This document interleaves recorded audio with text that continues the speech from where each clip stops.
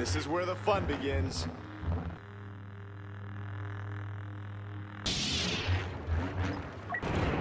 Call this a diplomatic solution?